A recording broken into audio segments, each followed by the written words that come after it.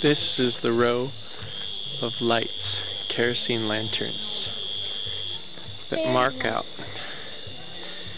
where our room is. Heidi's passing in front of them so they get eclipsed briefly.